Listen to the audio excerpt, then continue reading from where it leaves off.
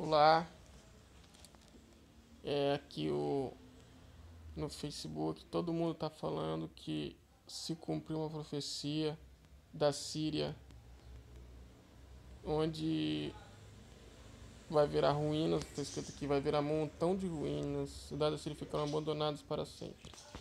Segundo alguns religiosos, a Bíblia diz que agora no momento atual a Síria será destruída, então eu não sei se será verdade, porque também fala sobre ídolos, é, poste-ídolos. Eu não sei se lá ainda existe lá o, esses postes ídolos, ou que a Síria será destruída, ou que vai ter outra cidade lá montada.